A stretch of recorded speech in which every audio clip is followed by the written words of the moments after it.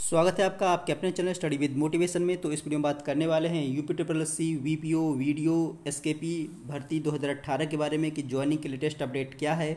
तो आप लोगों के साथ मैंने शेयर किया था वीडियो एस के पी समाज कल्याण पर्यवेक्षक जो आपका समाज कल्याण विभाग की दो पद थे, उनके बारे में कि इनका जो लेटर है, जो आपका डॉक्यूमेंट परीक्षण के लिए जो लेटर है, अभ्यर्थियों को भेजा जा रहा है और लगातार अभ्यर्थियों को ये प्राप्त हो रहा है।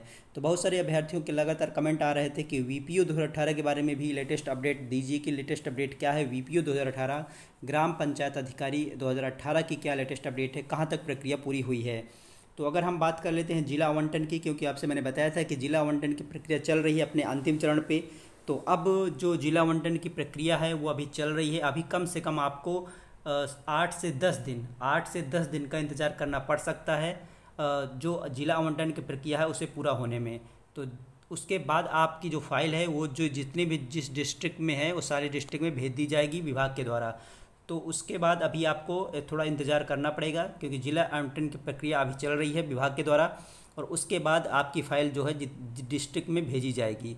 तो अभी आठ से दस दिन का टाइम आपका लग सकता है ग्राम पंचायत अधिकारी 2018 के बारे में मैं ये बात कर रहा हूँ। उसके बाद आपको पता ही है कि जो ग्राम विकास अधिकारी और समाज कल्याण पर्यवेक्षक के पद थे, आपके समाज कल्याण विभाग के तो समाज कल्याण विभाग द्वारा उनको लेटर भेजा जा रहा है और उनकी जो है लगातार चौदह चौ किसी अभ्यर्थी का चौदह अक्टूबर किसी पंद्रह सोलह सत्रह इस तरीके से अभ्यर्थियों के पास लेटर पहुँच रहे हैं उनको इस डेट पे लगभग बुलाया जा रहा है। तो चौदह पंद्रह सोलह सत्रह अठारह अभी तक अभ्यर्थियों को ने जो बताया है जो कमेंट मेरे त, वीडियो पे मिल रहे हैं उस पर यही बता रहे हैं किसी अभ्यर्थी को पंद्रह को किसी सोलह को किसी सत्रह को किसी अट्ठारह किसी किसी अभ्यर्थी को अट्ठारह अक्टूबर को जो है बुलाया गया है।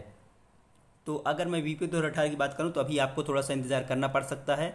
तो आठ से दस दिन का भी इंतज़ार करना पड़ेगा अभी, और आपको जिला आवंटन की प्रक्रिया पूरी होने में।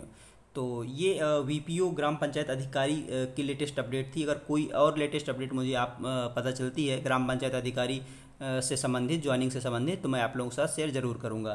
तो ये महत्वपूर्ण वीडियो था जो मुझे आप लोगों के साथ शेयर करना था। वीडियो पसंद आया हो, लाइक कर लीजिएगा। अगर आप चैनल पर नए चैनल को सब्सक्राइब कर लीजिएगा, क्योंकि जो भी लेटेस्ट अपडेट होगी वो आपको इस चैनल के माध्यम से मिलती रहेगी। चलिए दोस्तों पर मिलते हैं आपसे नेक्स्ट वीडियो में। जय हिंद।